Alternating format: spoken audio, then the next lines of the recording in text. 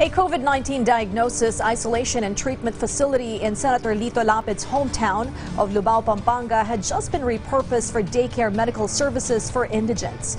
PTV correspondent Mark Vitalco supplies the details in this report. Delilah lined up early for the free medical service of the Department of Health in Lubao, Pampanga to have her eyesight checked. Sa mata ko, malabo, may katarata raw.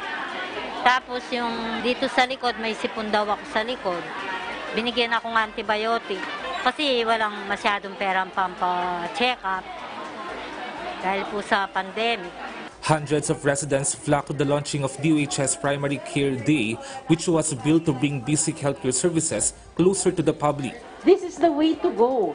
Kung hindi ho natin uumpisahan, i-prevent ang mga sakit sa ating lipunan ngayon, dadating po tayo dun sa punto na ang atin pong mga may sakit will just opt to die at home, will just opt to just stay at home without receiving any care.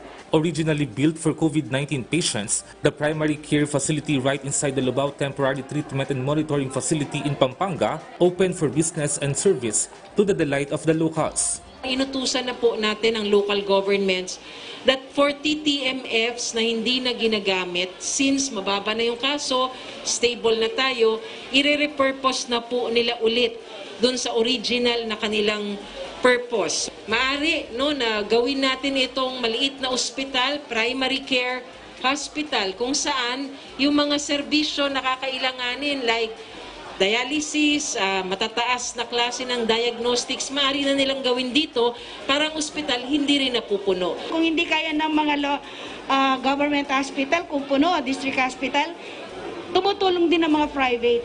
Tumutulong din ng mga private hospital.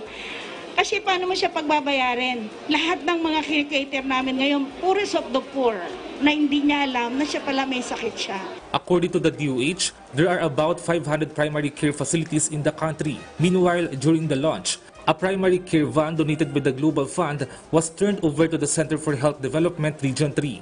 It was used to provide residents various primary care services such as consultations, immunization for infants, provision of free medicines, screening and diagnosis of common communicable and non-communicable diseases, as well as health education and counseling on risk factors and diseases. Mark Fetalco for The Nation.